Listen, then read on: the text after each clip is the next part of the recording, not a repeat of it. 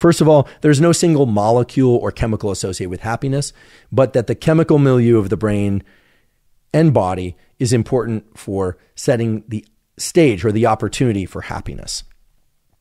Hence, why there are treatments aimed at alleviating depression or mania that target certain neurochemical systems and hormone systems. Happiness, at least the way I'm framing it today, has essentially two components. One is meaning, that is, what sort of meaning do certain types of interactions or behaviors, could be work, could be social interactions, etc., carry for us. And nested in that is this concept of connection. And we talked a bit about tools for enhancing connection. Things like eye contact, but not constant eye contact. Things like being very present to a conversation or an activity that you're engaging in. Remember, we talked about the paper, A Distracted Mind is an Unhappy Mind, the paper published in Science. And we talked about the study also published in Science, in which giving money but also knowing how that money has positively impacted others leads to this feeling of pro social connection and happiness in the giver and in the receiver. And I should mention again that it's not just the giving of money, but also the giving of effort and time and attention that can have similar effects. So we have meaning and connection and a number of different ways to access those. And then we have this axis that I'm referring to as performance and resources. And I'm talking about performance and resources as it relates to natural happiness, not synthetic happiness, but natural happiness, because we would be wrong, I believe, if we were to say that income doesn't matter. I think it's fair to say, based on the research, that income matters and income that can cover costs of living, plus that includes some buffer and what do I mean by buffer? I mean, buffer to the anxiety that circumstances might change is important. Now, that's going to vary from person to person, meaning some people will be perfectly happy making $1 more than their absolute cost of living every month. Other people will require a more substantial buffer in order to protect them against the negative psychological effects of worrying about, for instance, inflation or worrying that they might lose their job. And this is why I think most people recommend having, if possible, some buffer in their bank account that could cover two or three or maybe even six or maybe even 12 months of living expenses were they to lose their job or something catastrophic happened to them. So, if we're going to talk about happiness, I think it's only fair, only accurate and frankly only respectful to talk about living requirements and cost of living requirements that includes this sort of buffer and that that buffer to anxiety is going to vary depending on how anxious somebody gets about the possibility of catastrophic things happening to them like losing their job or their rent going up or doubling. And here I'm talking about hypotheticals, but I think we all know people and perhaps ourselves have experienced those kinds of circumstances. So when we talk about happiness, we we absolutely need to think about resources and we also need to think about performance. I think we would be completely inaccurate if we simply said, "Oh, you know, any work leading to any outcomes. You know, any effort, regardless of whether or not it gets you an A in school or an F in school, isn't going to impact your happiness. I don't think anyone would agree with that.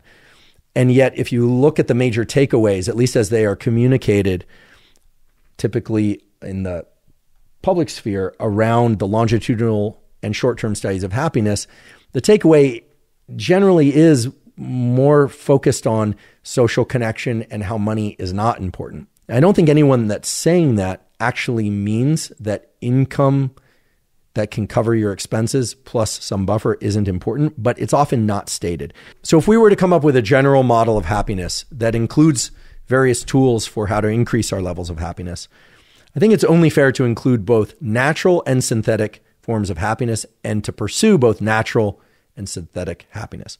Just to remind you, natural happiness is the kind of happiness that we associate with obtaining something, either by effort or because it was given to us. Although I definitely want to highlight the fact that receiving things that don't require much reward in order to receive them over time can be detrimental to our dopamine system. That's an important aside.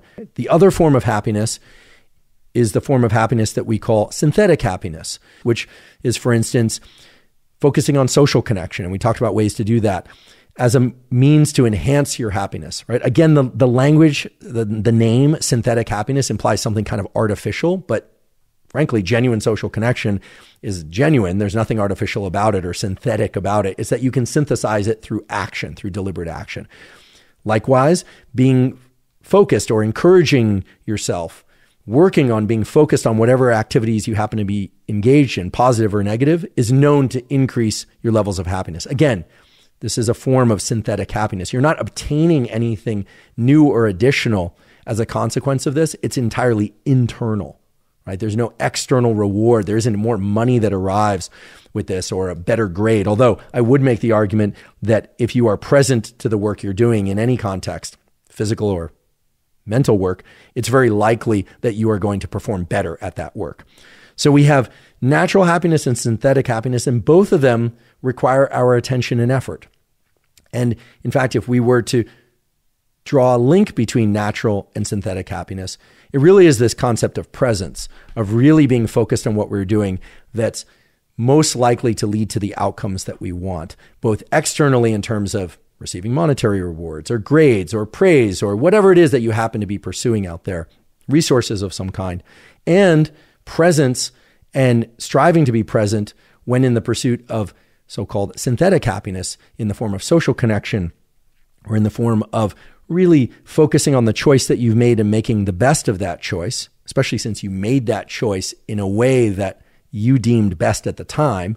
Well, that also is known to increase your overall levels of happiness. So, if an ability to focus and attend to things deeply is really what's most important and really acts as the greatest lever for both natural and synthetic happiness, well, then tools like a five minute daily meditation or a 13 minute a day meditation, as well as tools that allow us to get excellent sleep every night, which of course sets the basis for attention during the day. If you've ever had a poor night's sleep, then you are very familiar with how hard it is to focus the following day, at least for long periods of time. But building our capacity to focus through a focusing exercise, which again is often called meditation, but is really simply just a focusing and perceptual exercise. That's going to create an outsize effect on all the aspects, all the behaviors that we know feed into creating natural and synthetic happiness. And so it's really fair to say that our ability to attend and focus really equates to happiness.